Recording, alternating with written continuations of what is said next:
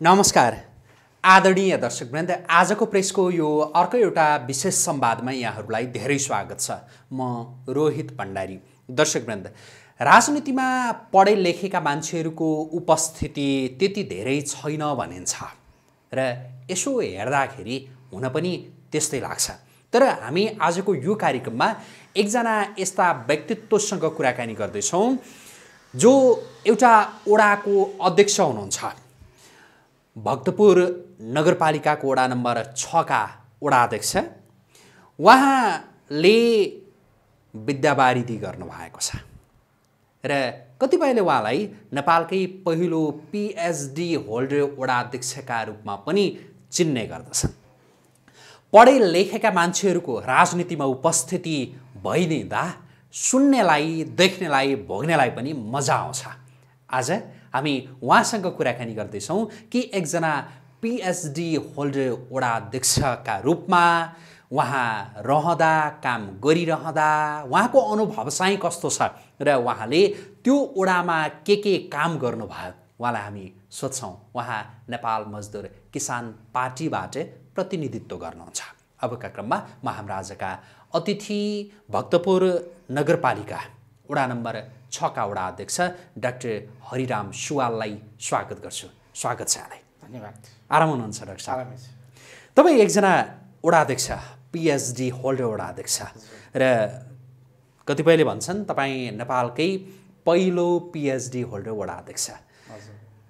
यो सुनिरहँदा नि पहिलो एक मात्रै भनेर जसरी कता कता भन्छन् त्यो सुनिरहँदा तपाईँलाई कस्तो अनुभूति हुन्छ? अब पिएचडी गर्ने सोच त ओडारिसी हुनुभन्दा अगाडिकै हो मेरो होइन? इनरोलमेन्ट इनरोलमेन्ट पनि पहिले पहिला नै हो पिएचडी हुनु ओडारिसी हुनुभन्दा अगाडि ओडारिसी भएपछि ढिलै भयो भने मैले सकाएँ। एउटा गर्वको विषय चाहिँ हो। खुसी लाग्छ। हजुर। तपाईँलाई पहिला हरिराम सुवालका रूपमा मात्रै चिन्थे पछि पिएचडी गरिसकेपछि डाक्टर हरिराम सुवाल। हजुर। भने होइन भन्न थाले।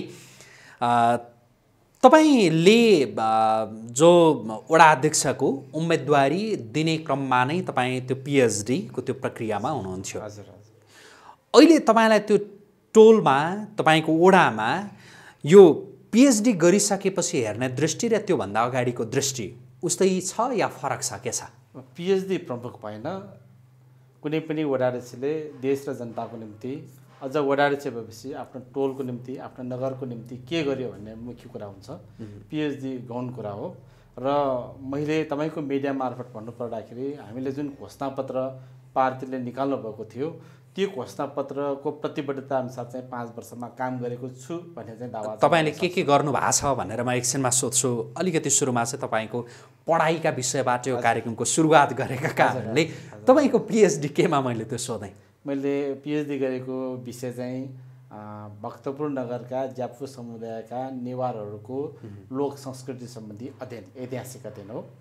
र मैले त्रिभुवन विश्वविद्यालयबाट इतिहास विभाग अन्तर्गत गरेको हुँ। तपाईँले अन्य विषयहरूमा स्नातकोत्तर पनि कतिवटामा गर्नुभएको छ होइन? दुई तिनवटामा छ। दुई तिनवटामा स्नातकोत्तर गर्नुभयो। त्यस्तै कतिवटा विषयमा तपाईँको यो अ, के इन्टरमिडिएट है? स्नातक पनि छ दुई तिनवटामा त्यो पनि छ। धेरै विषयमा तपाईँले त्यो अध्ययन गर्नुभयो धेरै विषय पढ्नुभयो। विद्यार्थी कालमा चाहिँ विद्यार्थी राजनीति गर्थेँ। अनि विद्यार्थी राजनीतिसँगै पार्टीका अग्रजहरूले अध्ययन गर्नुपर्छ भन्ने एउटा मान्यता सिकाएको कारणले गर्दाखेरि अध्ययनमा चाहिँ अलिकति गहिरिएर गरेको मात्र यो औपचारिक रूपमा पढेर राजनीति गर्दाखेरिको त्यो अनुभव त अलिकति फरक नै हुन्छ होला होइन? जसले हुन त राजनीतिमा पढाइ त्यति महत्त्वपूर्ण होइन भन्नेहरू पनि छन् होइन? यद्यपि तपाईँको सल्लाह चाहिँ के छ? जो राजनीतिमा आउन चाहने आउनेहरूलाई पढेर आउनुहोस् भन्ने छ कि? होइन पढाइ भनेको त्यति महत्त्वपूर्ण होइन भन्ने छ कि? के छ? पढाइ त राजनीति गरेकालाई मात्र होइन सबै ठाउँमा नै आवश्यक छ। अझ पढाइ लेखेका राजनीतिमा आउनुभयो भने झनै राम्रो। र फेरि राजनीतिमा लाग्दाखेरि पढ्नै पर्छ भन्ने पनि होइन। हामीले बाइस चाहिँ गर्नु हुँदैन। तर पढ्नु भयो भने अझ हाम्रो पार्टीको स्कुलिङ चाहिँ के छ भन्दाखेरि कुनै न कुनै एउटा विषयमा राजनीतिक कार्यकर्ताले दक्षता हासिल गर्नुपर्छ भन्ने सोच हो। त्यही सोचले गर्दाखेरि मैले पनि पिएचडी गर्नुपर्छ भन्ने सोच चाहिँ राखेको हुँ र गरे गरे- गरेको ए तपाईँको पार्टीको त्यो नीति नै हजुर। कुनै पनि विषयमा दक्षता हासिल गरेको हुनुपर्छ। भन्ने औपचारिक रूपमा नै होइन? पढाइको विषयलाई तपाईँको पार्टीले प्राथमिकतामा राखेको छ। त्यही पार्टीकै स्कुलिङले नै यो प्रेरणा पाएर नै पिएचडी गरेको तपाईँको पृष्ठभूमिको कुरा गरौँ न अघि म पहिले पनि जो विद्यार्थी राजनीतिमा थिएँ के भन्दै हुनुहुन्थ्यो होइन? तपाईँको पारिवारिक पृष्ठभूमि चाहिँ कस्तो हो? यो राजनीतिक मामलामा हेर्ने हो भने या पढाइको सन्दर्भमा ब्याकग्राउन्ड त पारिवारिक ब्याकग्राउन्ड त राजनीतिक होइन। तर एउटा किसान ब्याकग्राउन्डको हुँ। र पार्टीको सङ्गत पाएपछि चाहिँ अध्ययन गर्नुपर्छ। कुनै न कुनै विषयमा दक्षता हासिल गर्नुपर्छ विशेषज्ञ बन्नुपर्छ। राजनीतिक कार्यकर्ताहरूले देश र जनताको सेवा गर्नुपर्छ भन्ने पार्टीका अग्रजहरूको स्कुलिङ स्कुलिङमा चाहिँ आएको। अब तपाईँको जो पारिवारिक पृष्ठभूमिको कुरा गर्दा यो पढाइको सन्दर्भमा पनि अलिकति कुरा गरौँ। तपाईँको बाहेक अन्य तपाईँको परिवारमा रहेकाहरूको पढाइका विषयमा केही कुरा गर्न मिल्छ? मिल्छ भन्नुहोस् न जस्तो के छ भनिदिनुहोस् त। तपाईँको पारिवारिक पृष्ठभूमिमा पढाइका हिसाबले कुरा गर्दाखेरि तपाईँको परिवारको चाहिँ कस्तो के छ? सबै शिक्षित परिवार हुनुहुन्छ या साक्षर परिवार हुनुहुन्छ के छ केही भन्न मिल्छ? व्यक्ति व्यक्तिको भनिनँ मैले समग्रमा सोधेँ। अब म परिवारमा सबभन्दा कान्छो हुँ। हजुर। सबैको माया पाएँ त्यसपछि पार्टीको स्कुलिङले पार्टीका अग्रजहरूको मार्गदर्शनले गराउँ। र मेरो परिवारमा दाई हुनुहुन्छ दाईले आइएससम्मको पढ्नु भएको छ दिदीले आइएडसम्म हो। अरू त एजुकेट होइन। र पारिवारिक ब्याकग्राउन्ड भन्दा पनि राजनीतिक ब्याकग्राउन्ड पार्टीकै अग्रजहरूको स्कुलिङले नै मैले यो प्रेरणा पाएको चाहिँ तपाईँ राजनीतिमा सुरुदेखि नै यही पार्टीमा रहनु भयो कि अरू कुनै पार्टीमा रहनुहुन्थ्यो? सुरुदेखि नै हो। नेपाल मजदुर किसान पार्टी नै। कति वर्षको उमेरदेखि राजनीति गर्न? विद्यार्थी कालदेखि नै हो। विद्यार्थी कालदेखि किन तपाईँलाई नेपाल मजदुर किसान पार्टी नै ठिक लाग्यो र यो पार्टीमा तपाईँ रहनुभयो? नेपाल मजदुर किसान पार्टीले जुन लिएको नीति गरी खाने वर्गको मान्छेलाई शासन सत्तामा पुर्याउनु पर्छ भन्ने जुन नीति लियो त्यही नीतिले प्रभावित भएर नै पार्टीमा लागेको। अब तपाईँले यो पाँच वर्षमा के के गर्नुभयो भनेर म सोध्छु। तपाईँले पाँच वर्षमा मूलत म के के गर्छु भनेर जनताका माझमा जानुभएको थियो पाँच वर्ष अगाडि। हाम्रो घोषणापत्र छ। पार्टीको घोषणापत्र अनुसार मैले त्यो कार्यान्वयन चाहिँ गरेको छु। नगरपालिकाले पनि गरेको छ। मेरो वडामा मैले गरेको छु भन्ने म दावा चाहिँ गर्न सक्छु। तपाईँ आफैले आफ्नो मूल्याङ्कन गर्नुपर्दा नि आफैले आफूलाई मार्क्स दिनुपर्दा कति मार्क्स दिनुहुन्छ? अब मैले आफैलाई मार्क्स दिनुभन्दा जनताले दिने हो मार्क्स। होइन कोही कोही बेला आफ्नो आफैले पनि त त्यो मैले मूल्याङ्कन गरिन्छ। नै भन्ने भयो। त्यही पनि जनताको आँखा दुर्बिन सर हुन्छ। जनताले अबको इलेक्सनमा पनि देखाउला। तर तपाईँको मिडिया मार्फत भन्नुपर्दाखेरि मैले यो पाँच वर्षको अवधिमा साठीवटा विकास निर्माणका काम गरेको छु। तोकेर भन्नुपर्दा त्यसमा बिसवटा सम्पदासँग सम्बन्धित छ चालिसवटा योजनाहरू विकास निर्माणसँग सम्बन्धित छ साठीवटा योजनामा एउटा दुइटा अझै पनि चालु छ त्यसमा करिब करिब आठ करोड सतहत्तर लाख जतिको बजेट चाहिँ लगत इस्टिमेट भएको छ। त्यसमा त्यो लगत इस्टिमेटमा हामीले पाँच करोड सत्र लाखमा खुट खर्च भएको छ भनेपछि धेरै नै पैसा चालिस पैँतालिस पर्सेन्ट पैसा कममा हामीले योजना सकाएका छौँ भन्ने यसबाट हुन्छ। र हामी के दावा गर्छौँ भन्दाखेरि हामीले विकास निर्माणका कार्य गर्दाखेरि वडामा होस् नगरपालिकामा होस् उपभोक्ता समिति मार्फत गर्छौँ। जनताको सहयोगमा जनताको मनभावना बुझेर जनताकै घर अगाडि जनताकै आँगनमा विकास निर्माण कार्य गर्ने भएकोले हामीलाई जनसहयोग चाहिँ धेरै छ। त्यसै कारणले गर्दाखेरि मलाई जहाँसम्म लाग्छ जनताले पनि उचित मूल्याङ्कन नै गर्ला जस्तो लाग्छ। तपाईँको पार्टीको घोषणापत्र तपाईँको घोषणापत्र भनौँ त्यो ओडामा तपाईँले निर्वाचन त्यो लडिरहँदा के थियो यसो सम्झिन मिल्छ? सक सक्नुहुन्छ? सम्झिन? कतिपयले चाहिँ मैले यो सक्नुहुन्छ भनेर किन सोधेँ भनेदेखि कति बेला पाँच वर्षपछि सोध्यो भनेदेखि के थियो तपाईँको पार्टीको घोषणापत्र? तपाईँको घोषणापत्र के थियो? तपाईँको प्रतिबद्धता के थियो भनेर भन्दा त्यो बिर्सिनेहरू पनि धेरै छन् कि?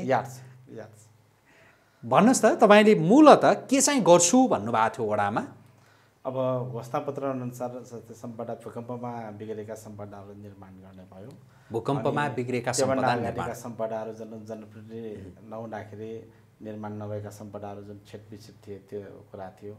त्यसपछि शिक्षा क्षेत्रमा हाम्रो जुन आजभोलि नगरपालिकाकै नेतृत्वमा शिक्षा क्षेत्र चलिरहेको छ छ सातवटा हामीसँग शैक्षिक संस्थाहरू छ। त्यो निर्वाध रूपमा चलिरहेको छ। त्यसमा खोपो कलेज खोपो मावि त मेरै वडामा छ म आफै पनि त्यसमा सञ्चालक समितिमा छु। हामीले पहिलाभन्दा राम्रोसँग चलाइरहेका छौँ। विश्वविद्यालयको हामीले आशा गरेका थियौँ सरकारले हामीलाई दिएन। त्यसपछि स्वास्थ्य क्षेत्रमा हामीले खोप अस्पताल बनाउने भनेका थियौँ। खोप अस्पताल करिब करिब बनाइसकेका छौँ र सञ्चालनमा पनि आएको छ। पूर्ण सञ्चालनमा आएको आएको छैन। सरकारले हामीलाई जुन बजेट दिने भनेको त्यो दिएको छैन। त्यही पनि हामीले आफ्नै स्रोत साधनले खोप अस्पताल चलाएका छौँ। तपाईँले सुन्नुभएको होला कोरोना कोरोनाको अवधिमा हामीले अक्सिजन प्लान्ट पनि स्थापना गऱ्यौँ। र सरकारले पैसा नदिएर हामीले जनतासँग पैसा माग्यौँ। जनताले मागेको भन्दा पाँच छ डोबर साढे छ करोड हामीलाई पैसा दिए जब कि एक एक करोड बिस लाख भए पुग्थ्यो। हामीले एक करोड माग गरेको छ साढे छ करोड जनताले दिन आयो तपाईँले त्यो जनता क्षेत्रमा हामीले धेरै क्षेत्रमा काम गरेँ तपाईँले त्यो जनतासँग मागेको भन्नुभयो नि त्यो कोरोना कालमा? कोरोना कालमा होइन? हुन त अहिले पनि कोरोना फाटाफुट्टा छ। त्यो चाहिँ के का लागि माग्नु भएको थियो? कसरी माग्नु भएको थियो? जनतालाई तपाईँहरूले के भन्नुभयो कोरोनाको अवधिमा जुन अक्सिजन नपाएर मान्छेहरू फटाफट मर्न थालेको थियो भक्तपुरमा पनि त्यो भयो र सरकारले अक्सिजन प्लान्ट स्थापना गर्नको निम्ति कर छुट दिएपछि हामीले पनि विदेशबाट मगायौँ र मगाउने क्रममा नगरपालिकासँग पैसा नभएपछि हामीले सरकारसँग माग्यौँ। सरकारले समय धेरै लगाएपछि हामीले जनतासँग माग्यौँ सार्वजनिक रूपमा। र त्यसपछि जनताले एक महिना भित्रमा एक डेढ महिनाभित्रमा साढे छ करोड दिन आयो हामीले त्यसैबाट अहिले अक्सिजन प्लान्ट स्थापना गरेर नि शुल्क भक्तपुर नगरवासीलाई नि शुल्क अक्सिजन दिइरहेका छौँ। र नगर बाहिरको अरू जिल्लाहरूलाई हामीले आधी पैसामा दिइरहेका छौँ। जनतालाई हामीले घोषणापत्र अनुसार शिक्षा क्षेत्र स्वास्थ्य क्षेत्र अरू अरू क्षेत्रमा पनि हामीले गरेका छौँ। अब जनताले पनि मूल्याङ्कन गरिदिन्छ जस्तो मलाई लाग्दछ गर्नुपर्छ। जनताको मन जित्ने हो भनेदेखि नेताले भनेका कुरा जनताले मानिदिन्छन् है? त्यो लाग्यो तपाईँहरूलाई। जुन तपाईँहरूले जति माग्नु भएको थियो जनतासँग अक्सिजनका लागि त्योभन्दा पाँच दोबार आयो। तपाईँहरूले पनि त जनताले मागेको भन्दा ज्यादा दिनुभयो होला होइन? केही कुरा भनेको पैसाको कुरा गरिनँ। जनताले काम गर्दाखेरि जनतासँग टच भएर काम गर्छौँ। विकास निर्माण पनि भयो। त्यो बाहेक पनि जस्तै त म तपाईँलाई म एउटा सानो उदाहरण दिन्छु। कसरी काम गर्ने भन्ने विषयमा। कोरोनाको अवधि चलिरहेको थियो। एकजना भाइलाई मेरो टोलको भाइलाई घरको परिवारको मान्छेले कोरोना लागेर त्यो डराएर भनौँ या उसको व्यवहार मन नपरेर पार्टीमा ल्याएर बिमारिसे राख्न ल्यायो र दुई तिन दिनसम्म बिमारिसे सडक पेटी पार्टी पार्टीमा ल्याएपछि वडा कार्यालयमा खबर आयो। हामी खबर पाउने बित्तिकै दुई मिनटमै अझ एक मिनटमै भनौँ न म गएँ। बिचरा दुई तिन दिनदेखि बिमारिसे रहेछ। लक्ष्मी पूजाको दिन थियो। त्यसपछि मेरो नेतृत्वमा चन्दा सङ्कलनदेखि लिएर उपचार कोभिड अस्पतालमा लाने बाइस दिन हामीले कोभिड वार्डमा राख्यौँ भक्तपुर अस्पतालमा राख्यौँ। र चन्दा करिब करिब दुई साढे तिन लाख चन्दा उठायौँ। हस्पिटलले पनि एक डेढ लाख औषधि दिए। साढे तिन चार लाख खर्च गरेर त्यो मान्छेलाई बचायो। घरको परिवारको मान्छेले एक दिन पनि बसेर सहयोग गरेन। उसको श्रीमती थियो श्रीमती विदेशमा थियो मरे मरोस् भनेर भने तर पैसा पठाएन। तर टोलका वासीहरूले दस रुपियाँदेखि लिएर चालिस हजारसम्म दिने मान्छे थिए। र हामीले रगत दुई पटक चढायौँ त्यो भाइलाई। र त्यो भाइलाई हामीले सकुशल घर ल्यायौँ। त्यसरी हामीले जनताको सल्लाह सुझाव अनुसार हामीले जुन क्षेत्राधिकार हो भने या होइन भने एउटा मानवताको नातामा एउटा नैतिकताको आधारमा हामीले काम गरेका छौँ। जस्तो त्यो कुरा जनताले देखिराख्नु भयो त्यो भएर पनि जनताले तपाईँहरूलाई विश्वास गर्नुभयो। होइन मत मात्रै दिनु भएन पछि साथ पनि मत पनि दिए पछि मन पनि दिनुभयो। धेरै जनताको धेरै सहयोग छ हामीलाई। जस्तो यो शिक्षा स्वास्थ्य लगायतका सन्दर्भमा केन्द्रित रहेर कुराकानी गरिरहँदा तपाईँले नेतृत्व गरिरहेको वडा या भक्तपुर नगरपालिकाको कुरा गर्ने हो भनेदेखि त्यहाँ धेरै राम्रा कामहरू भएका छन् भन्ने सुनिन्छ होइन? तपाईँलाई म एक एकवटा केही जिज्ञासा राख्छु एक एकवटा सन्दर्भमा केन्द्रित रहेर। जस्तो तपाईँहरूले नि विशेष गरी तपाईँहरूले आफ्नो ओडामा त्यो गुणस्तरीय शिक्षाबाट विद्यार्थीहरू वञ्चित हुन नपरोस् भनेर आफू निर्वाचित भइसकेपछि त्यस्तो के गर्नुभयो केही गर्नुभयो तपाईँले शिक्षाका क्षेत्रमा? हामीले राजपत्र नगरपालिकाको राजपत्रमै निकालेर शैक्षिक ऋण दिने व्यवस्था गऱ्यौँ कस्तो भन्दाखेरि जस्तै नगरभित्र कोही विद्यार्थीहरू आर्थिक रूपमा कमजोर छन् पैसा नभएर पढ्न सक्ने अवस्था छैन उच्च शिक्षा हासिल गर्ने अवस्था छैन भने त्यस्ता विद्यार्थीहरूलाई हामीले पाँच लाखसम्म छ प्रतिशत ब्याज दरमा पाँच लाखसम्म उसको सर्टिफिकेट ढितो राखेर ऋण दिने राजपत्र हामीले निकालेका छौँ। त्यो अनुसार हामीले करिब करिब नगरभरिमा साढे तिन सय तिन सय एकाउन्न मलाई जस्तो लाग्छ। तिन सय एकाउन्नजनालाई दिइसकेका छौँ। मेरै वडामा मात्र हामीले एक सौ पन्ध्र सोह्रजनालाई दिइसकेका छौँ। सर्टिफिकेट ढितो सर्टिफिकेट राखेर राखेर। उसको उच्च शिक्षाको निम्ति पाँच लाखसम्म जस्तै इन्जिनियरिङ पढ्नेलाई भए पनि पाँच लाख नपुग्न सक्छ कुनै कुनै विषय। बिबिएस पढ्न त पुग्छ बिएसएम पढ्न त पुग्छ।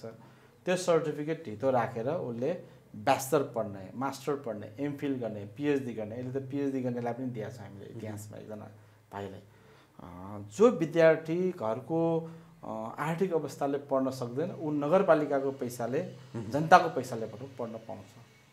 र हामीले त्यो गरेका छौँ। एक नम्बरमा त्यसपछि दोस्रो नम्बरमा हाम्रो शैक्षिक संस्थाहरूमा हामीले विपन्न नागरिकहरूलाई भक्तपुर नगरवासी अनि भक्तपुर गैर भक्तपुर नगरवासीलाई पनि हामीले पूर्ण छात्रवृत्तिदेखि लिएर आंशिक छात्रवृत्ति दिएका छौँ ताकि घरको आर्थिक अवस्थाले उसको इच्छा नमरोस् भन्ने हिसाबले त्यसरी हामीले काम गरिरहेका छौँ। पढ्न नपा नपाएर भनौँ न आर्थिक अवस्थाका कारण आफूले चाहेको विषय हामीले के गरेका छौँ भने। विदेश पढ्न जानेहरूलाई हामीले निरुत्साहित गर्ने हिसाबले विदेश पढ्नेहरूलाई चाहिँ हामीले दिएका छौँ विदेश पढ्न जानेलाई चाहिँ तपाईँहरू दिएका छैनौँ दिनुहुन्न होइन? नेपालभित्र कुनै पनि जिल्लामा पढ्न जाओस् विश्वविद्यालयमा ब्याचलरदेखि पिएचडीसम्म ती विद्यार्थीलाई चाहिँ हामी शैक्षिक ऋण दिन्छौँ र त्यो ऋण पनि तिर्ने सोच कसरी राखेका छौँ भन्दाखेरि उसले कोर्स कम्प्लिट भएपछि त्यो एक वर्ष नआएपछि पच्चिस पर्सेन्ट। उसले लिएको ऋणलाई चार वर्षमा बाँडेर पच्चिस पच्चिस पर्सेन्ट गरेर तिर्नुपर्ने प्रावधान। ताकि त्यो विद्यार्थीले पनि तिरोस् भन्ने सोच। अभिभावकले होइन विद्यार्थीले पनि तिरोस्। अभिभावकले तिरे पनि हुन्छ एकैचोटि तर विद्यार्थीले तिरोस्। चार वर्ष उसले समय पाउँछ। उसले पाँच वर्षको कोर्स हो भने पाँच वर्षको समय पाउँछ। तिन वर्षको कोर्स हो भने तिन वर्षमा तिर्नुपर्छ। उसले कमाइसकेपछि तिरोस् अब जस्तो छ नि वडा अध्यक्षज्यू पढिसक्ने बित्तिकै विद्यार्थीले फेरि कहाँबाट तिर्ने? यो पनि एउटा समस्याको विषय होला। तपाईँहरूले के सोच्नु भएको छ ब्याज दर छ? भने छ प्रतिशत मात्र हो। छ प्रतिशतमा दिनुहुन्छ तपाईँहरूले। त्यो सावा पनि कति वर्षमा कति समय भने? उसको त्यो भाइको त्यो विद्यार्थीको ऋण चाहिँ पाँच लाख हो भने त्यसलाई चार वर्षमा डिभाइडेड गर्दाखेरि कति आउँछ त्यसरी अनि ब्याज त्यही पाँच लाखको त्यो पढ्न त पढ्ने पढाइ त सक्ने फेरि हाम्रो समस्या के छ भन्नु होला भनेदेखि पढाइसकिसकेपछि काम नपाउने समस्या पनि त्यत्तिकै छ। यसका विषयमा तपाईँको ओडाले के सोच्यो? तपाईँले के गर्नुभयो? ताकि जो शैक्षिक बेरोजगारीको त्यो सङ्ख्या नबढोस् भन्ने विषयमा पनि तपाईँहरू सचेत हुनुभयो होला। रोजगारीका विषयमा तपाईँहरूले के गर्नुभयो? तपाईँ घोषणापत्रमा- भइसकेपछि। अघि तपाईँले घोषणापत्र याद छ कि भन्नुभयो? घोषणापत्र मलाई पुरै कन्ठस्थै छ। हाम्रो घोषणापत्रमा के छ भन्दाखेरि रोजगारीका अवसरहरू सिर्जना गर्ने भने छ हामीले आजभोलि नगरपालिकाले विभिन्न ट्रेनिङहरू प्रशिक्षणहरू चलाएको छ आधुनिक साधनहरूको विषयमा। त्यसपछि हामीले ती ट्रेनिङ लिएका युवाहरूलाई स्थानीय स्तरमा उसले ऊ कुनै न कुनै विषयमा अघि मैले भने दक्षता प्राप्त गरेपछि कहीँ न कहीँ काम मिल्छ भन्ने हो या विदेश गए पनि स- ऊ सजिलो नै हुन्छ। तर हामी विदेश जाने पक्षमा चाहिँ पठाउने पक्षमा चाहिँ छैनौँ। तर मानिसहरू गइरहेछन् सरकारको एउटा कमजोरी पनि हो यो स्थानीय तहको मात्र होइन। तर स्थानीय स्तरमा अनि वडा स्तरमा हामीले उपभोक्ता समितिमा पनि हामीले लोकल मान्छेलाई लोकल साधन स्रोतलाई प्राथमिकता दिन्छौँ। जस्तै अब म अघि मैले भने आठ लाख आठ करोड सतहत्तर लाखको लगन इस्टिमेट भएको छ भनेको छौँ। त्यसमा कमसेकम तिन सौजनाले साठीवटा योजनामा तिन सौजनाले उपभोक्ता समितिमा बसेर काम गर्नुभएको छ। उहाँहरूलाई हामी के निर्देशन दिन्छौँ भन्दाखेरि स्थानीय टोलवासीहरूको मान म्यान पावर प्रयोग गर्नुहोस् मानवीय स्रोत प्रयोग गर्नुहोस् स्थानीय साधनहरू प्रयोग गर्नुहोस् जस्तै इँटा ढुङ्गा हो भने यहाँ लोकल ढुङ्गा प्रयोग गर्नुहोस् इँटा छ भने लोकल उद्योगी उद्योगिका इँटाहरू प्रयोग गर्नुहोस् काठ छ भने लोकल कार्पेन्टरहरूलाई प्रयोग गर्नुहोस् भनेर। त्यसले त रोजगारी सिर्जना हुन्छ दक्ष अध्यक्ष होइन? त्यसपछि शैक्षिक संस्थाहरू छन्। शैक्षिक संस्थाहरूमा हाम्रो चार पाँच सय शिक्षक शिक्षिकाहरू काम गरिरहेछन् त्यो त हाई एजुकेट भयो। हामीले त्यसरी काम चाहिँ गरिरहेछौँ अब यो वास्तवमा सरकारको कार्यक्षेत्रमा पर्छ। त्यही पनि स्थानीय स्तरमा हामीले सरकार भनेकै तपाईँहरू त हो नि। स्थानीय सरकार वडा। वडा। मैले नेपाल सरकारलाई भन्न खोजेको। तर हामीले आफ्नो वडा स्तरमा नगरपालिका स्तरमा त्यसरी चाहिँ काम गरिरहेका छौँ। जसको कारणले गर्दाखेरि कोरोना कालमा जुन बेलामा मान्छे निस्केका थिएन घरबाट सुरु सुरुमा लकडाउन हुँदाखेरि मान्छे त निस्कन डराएका थिए। नि त्यस्तो बेलामा समेत हामीले प्रशासनसँग समन्वय गरेर अनि त्यसपछि नगरपालिकासँग समन्वय गरेर अनि त्यसपछि उद्योगीहरूसँग समन्वय समन्वय गरेर राति राति सामान ल्याएर दिउँसो स्वास्थ्य मापदण्ड पालना गराएर हामीले काम गराएका छौँ ताकि मान्छेहरू भोक भोकले नमरुन्। मान्छेको कमाइ त्यो बेला घटेको थियो रोजगारीका अवसरहरू गुमेका थिए। तर हामीले स्थानीय स्तरमा त्यसरी काम गराएका थियौँ। तपाईँहरूले हुन त अघि पनि भन्नुभयो स्वास्थ्यका सन्दर्भमा कुरा गर्दाखेरि एउटा उदाहरण नै दिनुभएको थियो होइन? तपाईँहरूले त्यो बाहेक जस्तो स्वास्थ्यमा चाहिँ कस्तो खालको नीति लिनुभएको छ तपाईँहरूले आफ्नो ओडामा ताकि उपचार गर्न नसकेर मान्छेहरू मर्नु नपरोस्। आर्थिक अभ अभावका कारणले। यो विषयमा तपाईँहरूले के के लिनुभएको छ? धेरै थोर अब। वडा स्तरको अलिकति भन्छु। वडामा हामीले घर दैलो नर्सिङ सेवा आज नगरभरि पनि छ वडामा पनि छ। मेरो छ नम्बर वडामा पनि छ। एकजना नर्स बिहान दुई तिन घन्टा घुम्छ। जुन घरमा आवश्यक छ त्यो घरमा उसले चेकअप गर्छ प्रेसर सुगर सबै चेकअप गर्छ। अनि उसले हाम्रो खोपो अस्पतालमा नगरपालिकाको खोपो अस्पतालमा सिफारिस गर्छ।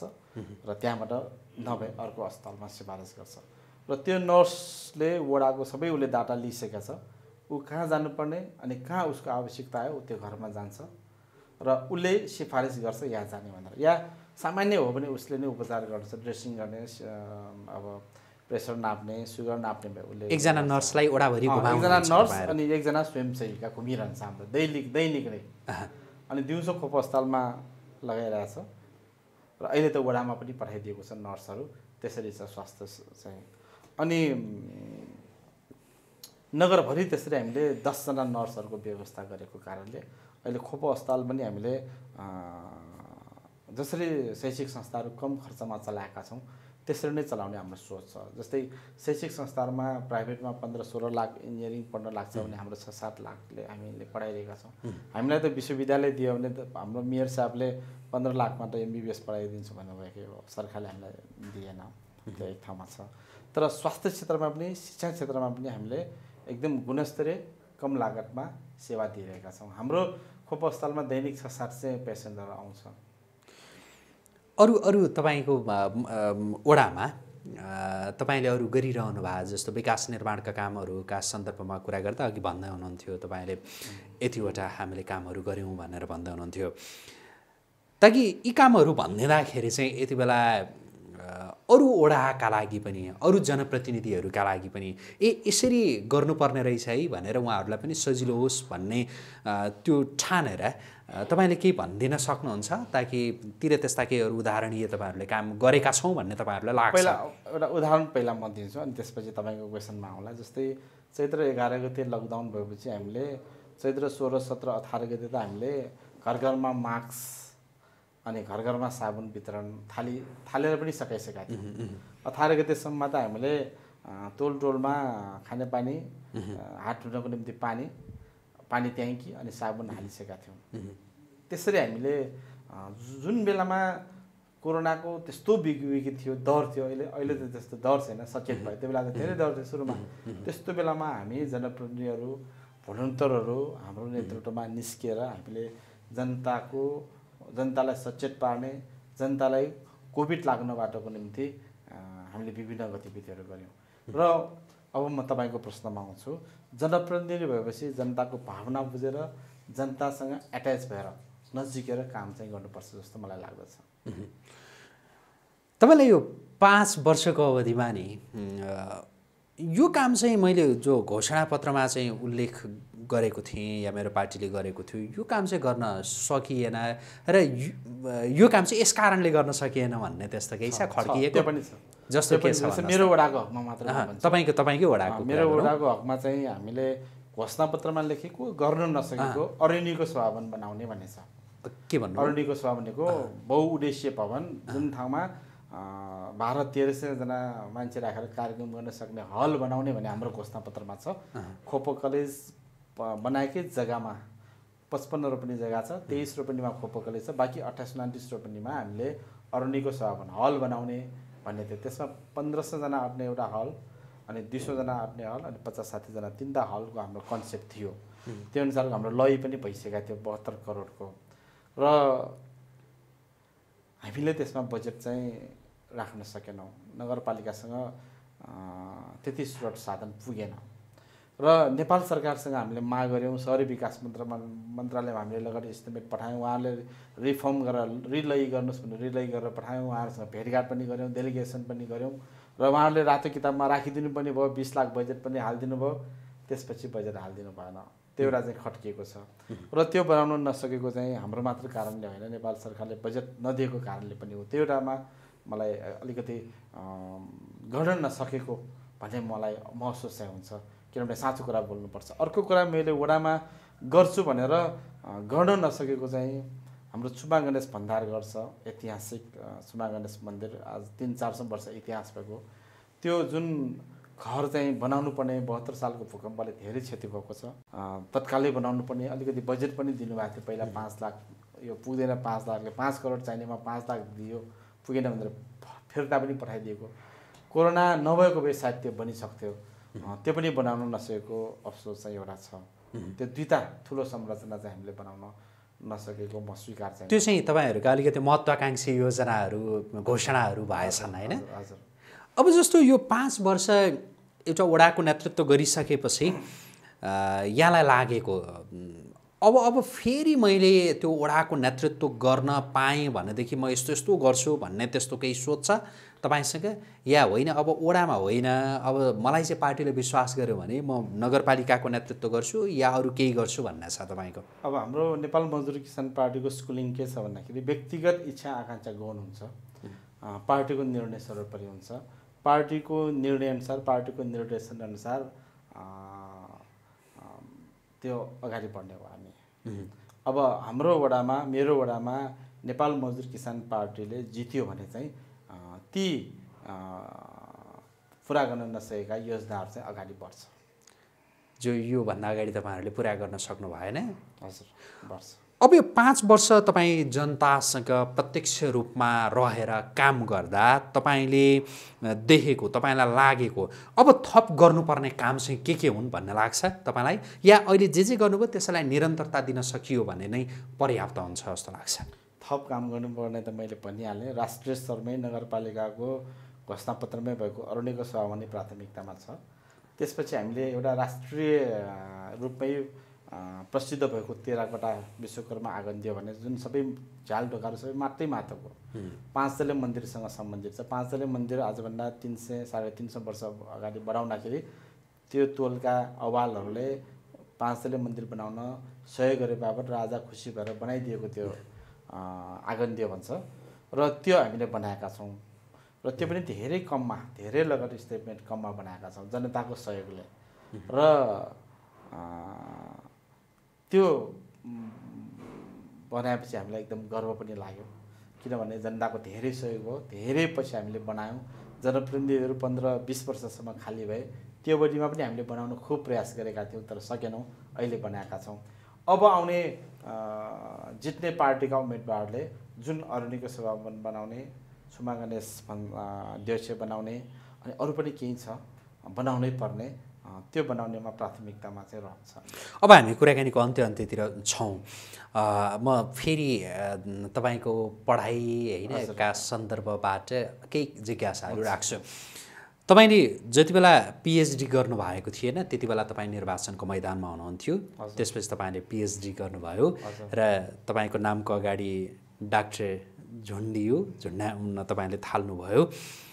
त्यो सुरुवाती दिन तपाईँ सम्झिनुहुन्छ ताकि तपाईँले पिएचडी गरिसकेपछि त्यो तपाईँको आफ्नो टेबलमा जो डाक्टर हरिराम सुवाल भनेर तपाईँले लेखिसकेपछि त्यसपछि आएका प्रतिक्रियाहरू र तपाईँ विभिन्न ठाउँहरूमा जानुभयो ती क्षणहरू यसो सम्झिदिनुहोस् न के के तपाईँका त्यस्ता अनुभवहरू होलान्? अब मैले अघि पनि भने पिएचडी चाहिँ मेरो इनरोलमेन्ट पहिला के भयो। अनि वडा अध्यक्ष भएपछि यसलाई कम्प्लिट गर्नुपर्छ भन्ने हिसाबले मैले कम्प्लिट गरेको हुँ। अनि त्यसपछि रेस्पोन्स चाहिँ राम्रै छ। र काम गर्दाखेरि पनि अलिकति सजिलो त हुने नै भयो परिचित भएपछि होइन? अनि साथीहरूलाई के म अनुरोध गर्न चाहन्छु भन्दाखेरि राजनीतिक उद्देश्य लिएपछि पिएचडी गौन विषय हो ठुलो कुरो त होइन। मैले अघि भनिहालेँ पार्टीको नीति निर्देशन अनुसार नगरपालिकाको नीति निर्देशन अनुसार म कतिको गइरहेको छु त्यो महत्त्वपूर्ण कुरो हो। अनि जनताको भावना बुझेर जनताको इच्छा आकाङ्क्षा अनुसार कतिको गर्न सकेको छु। पिएचडी भन्दा पनि त्यो ठुलो कुरो जस्तो मलाई लाग्दछ। कतिपय जसले हामीले जनतामै पिएचडी गऱ्यौँ भनेर भन्नुहुन्छ त्यो महत्त्वपूर्ण हो राजनीतिमा। हजुर हजुर त्यो महत्त्वपूर्ण औपचारिक पढाइ भन्दा पनि औपचारिक पढाइ भयो भने त झनै राम्रो। त्यसलाई पनि नकार्न खोजेको त होइन। होइन? विद्यार्थी कालमा पार्टीको स्कुलिङले पढ्नुपर्छ भन्ने एउटा निर्देशन भएपछि एउटा लाइन गएपछि गरेको हो। पारिवारिक पृष्ठभूमि भन्दा पनि। पारिवारिक पृष्ठभूमि त अब पढ्ने किसिमको पढाउनु पढ्नुपर्छ भन्ने किसिमको परिवार त होइन मेरो किसान परिवारको हो। तर पार्टीको सङ्गठनमा परेपछि पार्टीबाट स्कुलिङ भएपछि त्यो हिसाबमा अगाडि बढेको हुँ। त्यसै कारणले गर्दाखेरि पिएचडी भन्दाखेरि भन्दाखेरि पनि एकजना वडा अध्यक्ष भएपछि जनताको भावनाअनुसार घोषणापत्र कतिको कार्यान्वयन भयो भएन। जनताले चाहिँ अब फैसला गर्ने दिन चाहिँ आएको छ। नेपाल मजदुर किसान पार्टीकै उम्मेदवारलाई जितायो भने त्यसपछि मात्र त्यो तपाईँको पार्टी नै नेपाल मजदुर किसान पार्टी। तपाईँको वडाका मजदुर किसानहरूका लागि तपाईँले के गर्नुभयो? मैले अघि पनि भने घोषणापत्र अनुसार काम गरेको छु मैले। जस्तो मजदुर र किसान लक्षित के के काम चाहिँ तपाईँले यो पाँच वर्षको अवधिमा गर्न सक्नुभयो? जो हुन त शिक्षा स्वास्थ्य रोजगारी अ, का सन्दर्भ पनि पनि त्यहाँ मजदुर किसानहरू त्यसमा पनि समेटिनु भयो। यद्यपि मजदुर किसानलाई नै लक्षित गरेर तपाईँले के मजदुर? किसानलाई लक्षित हामीले बिउ वितरणहरू गऱ्यौँ। कोरोना अवधिमा पनि त्यस्तो निस्कन नहुने समयमा पनि हामीले धानका बिउहरू त्यसपछि आलुका बिउहरू त्यसरी हामीले वितरण गऱ्यौँ किसान लक्षित स्वास्थ्य मापदण्ड अप्नाएर जुन बेलामा मान्छे बाहिर निस्किन डराएका थिए हामी चाहिँ निस्केर दियौँ। मजदुर केन्द्रित चाहिँ हामीले अघि भने रोजगारी स्थानीय स्तरमै रोजगारी सिर्जना गऱ्यौँ। अझ कोरोना कालमै हामीले विकास निर्माणका कामहरू गऱ्यौँ। प्रशासनको स्वीकृति लिएर। त्यसले गर्दाखेरि अलिकति ब्याकवार्ड जो आर्थिक रूपमा पछाडि परेका छन्। उनीहरूले थोरै भयो भने म धेरै चाहिँ भन्न चाहन्न थोरै भयो भने रोजगारी पाए। र अहिले पनि हाम्रो नीति के छ भन्दाखेरि नगरपालिकाको विकास निर्माणमा वडाको विकास निर्माणमा चाहिँ स्थानीयलाई प्राथमिकता चाहिँ छ। स्थानीयले गर्न नसक्ने कामहरू साधनहरू चाहिँ फेरि हामी अर्कोमा पढ पढ्नु नै पर्ने हुन्छ। तर म के चाहिँ भन्न चाहन्छु भने तपाईँको मिडिया मार्फत नेपाल मजदुर किसान पार्टीले मजदुर र किसानको पक्षमा हाम्रो अब राजनीतिक सिद्धान्त नै वर्गीय रूपमा कमजोर सर्वहारा वर्गको हित हेर्ने भएको कारणले गर्दाखेरि त्यही सोचले हामीले नगरपालिका चलाएका छौँ वडा कार्यालय चलाएका छौँ। एकजना वडाध्यक्षको कुर्सीबाट अ, यो राष्ट्रिय राजनीतिलाई यसो निहालिरहँदा चाहिँ कस्तो देखिन्छ कस्तो अब लाग्छ राष्ट्रिय राजनीतिलाई नियाले हेर्दाखेरि देशमा जुन ठुला पार्टी भनाउँदाहरू तपाईँहरूले मिडियामा पनि सुन्नुभएको होला करोडौँ खर्च गरेर चुनाव जितेका छन् पैसा बाँडेर भोज भत्तर खुवाएर चुनाव बाँडेका छन् भक्तपुरको हकमा त्यो त्यस्तो छैन। हामीले चन्दा उठाएर जनताकै पैसा उठाएर त्यो खर्च गरेर त्यसैबाट हामीले मत हामीले अघि मैले भनिहालेँ जनताले हामीलाई भोट पनि दिएको छ जनताले हामीलाई चन्दा पनि दिएको छ त्यसैबाट हामीले पार्टी पनि चलाएका छौँ त्यसैबाट हामी जितेका छौँ र त्यो कारणले गर्दाखेरि हामीले भ्रष्टाचार गर्ने कमिसन खाने भोजपत्र गर्ने त्यो आवश्यकता हामीलाई छैन। व्यक्तिगत रूपमा खर्च गर्न आवश्यक छैन। पार्टीको पनि स्कुलिङ त्यही हो। र म आफूले व्यक्तिगत रूपमा पनि व्यक्तिगत रूपमा पैसा खर्च गरेको छैन। र व्यक्तिगत रूपमा त्यसरी हामीले भ्रष्टाचार गर्ने त्यस्तो काम चाहिँ गरेका छैन। पार्टी चुनावमा चुनावमा जाँदा पैसा खर्च गर्नु परेन? परेन। व्यक्तिगत रूपमा खर्च गर्नु परेन। पार्टीगत रूपमा चाहिँ कति जति खर्च भयो? एकदमै थोरै। दस पन्ध्र हजारमा मात्र। दस पन्ध्र हजारमा वडाध्यक्ष जितिँदो रहेछ? अब म म उठ्दाखेरि थोरै मात्र खर्च भयो। दस पन्ध्र हजार मात्र। मैले किन अलि अचम्म भावमा मैले सोधेँ भने अहिले चुनावको मुखमा हामी कुराकानी गरिरहेछौँ यहाँ त लाखौँ करोडौँ रुपियाँ लाग्छ भनेर भन्छन्। नेपाल मजदुर किसान पार्टीका उम्मेदवारहरूले व्यक्तिगत रूपमा खर्च गर्दैनन् व्यक्तिगत रूपमा लाभ लिँदैनन् लियो भने पार्टीबाट कारवाही हुन्छ। जम्मा कति पन्ध्र हजार। हाराहारीमा चुनाव। चुनावी खर्च तपाईँको त्यति भयो त्यो पनि 15,000 व्यक्तिगत रूपमा होइन। चन्दा उठाएर हामीले त्यही चन्दाबाट खर्च गरेर चुनाव जितेको। जुन निर्वाचन आयोगले नि जति एउटा खर्च गर्न पाउने एउटा जुन सिलिङ तोक दिन्छ नि त्यो पनि धेरै हो कि के हो त्यसो भए त होइन? निर्वाचन आयोगले यतिसम्म चाहिँ खर्च गर्न पाउँछन् है उम्मेदवारले भनेर जो भन्छ नि त्यो नि ज्यादा भयो ज्यादा छ ज्यादा छ। कति जति चाहिँ ठिक्क हो रहेछ त तपाईँको यसो बुझाइ? वास्तवमा राजनीति भनेको देश र जनताको सेवाको निम्ति हो। अब अहिले अहिले त ठेकेदारहरूले व्यापारीहरूले टिकट पाउँछन्। टिकट लिनलाई पनि पैसा तिरेर लिन्छन्। नेपाल मजदुर किसान पार्टीमा त्यो स्कुलिङ चाहिँ छैन। नेपाल मजदुर किसान पार्टीका क्यान्डिडेटहरूले व्यक्तिगत रूपमा खर्च गर्दैनन् व्यक्तिगत रूपमा पैसा लाभ लिँदैनन् र त्यस्ता लाभ लिनेहरूले देश चलाएकोले नै देश अहिले श्रीलङ्कातर्फ गइरहेको भनेर हामीले मिडियामा सुनिरहेका छौँ। भ्रष्ट नेताहरूको कारणले गर्दाखेरि गलत नेताहरूको कारणले गर्दाखेरि गलत नेतृत्वको कारणले गर्दाखेरि देश चाहिँ अलिक गलत बाटोमा गएको हो। तपाईँहरूको पार्टी नि भक्तपुर र भक्तपुरकै वरिपरि मात्रै त्यो केन्द्रित भयो भनेर भन्छन्। तपाईँहरू कामहरू पनि यसो हेरिरहँदा तपाईँले अघि जे जे भन्नुभयो हामीले यो काम गऱ्यौँ यति गऱ्यौँ यसरी गरिरहेछौँ भनेर कामहरू हेरिँदा हेर्दाखेरि राम्रो छ। तर तपाईँहरू किन यो देशव्यापी चाहिँ बन्न सक्नु भएन? अब कामको कुरा भन्नुपर्दाखेरि भक्तपुर नगरपालिकालाई उत्कृष्ट नगरपालिका भनेर अहिले तपाईँले मिडियामा पनि सुन्नुभयो होला होइन? त्यो एक ठाउँमा छँदैछ सङ्गठनको रूपमा भन्नुपर्दाखेरि हाम्रो पनि देशभरि चालिस पैँतालिसवटा जिल्लामा सङ्गठन छ। तर निर्वाचित पनि कुनै कुनै ठाउँमा भएको छ। अब अघि मैले भनिहालेँ चुनाव पैसा बाँडेर भोजभतेर खुवाएर अनि त्यसपछि विभिन्न प्रलोभनहरू दिएर जितेर आएका छन् भनेर हामीले मिडियामा सुनेका छौँ। हिजो अस्ति मात्रै पनि काङ्ग्रेसका एकजना ठुला नेताले भने छ करोड खर्च गरेर जितेको भनेर। मैले भने मैले त दस पन्ध्र हजारमा जितेको त्यो पनि चन्दा उठाएर। भनेपछि छ करोड खर्च गरेर जित्ने मान्छेले कति कमाउँछ? छ कमसेकम न्यूनतम छ करोड त उसले बचाउनु पऱ्यो त्यसमा फेरि प्रफिट जोड्छ होला। तर हाम्रोमा त्यसको लिङ्क होइन। हामीले व्यक्तिगत रूपमा पनि उठाउनु छैन व्यक्तिगत रूपमा पनि खर्च गर्नु छैन। हुन्छ हामी आजको लागि कुराकानी यति गरौँ। तपाईँले जुन समय दिनुभयो यसका लागि तपाईँलाई आजको प्रेसका तर्फबाट धेरै धन्यवाद। हस् धन्यवाद। हस्।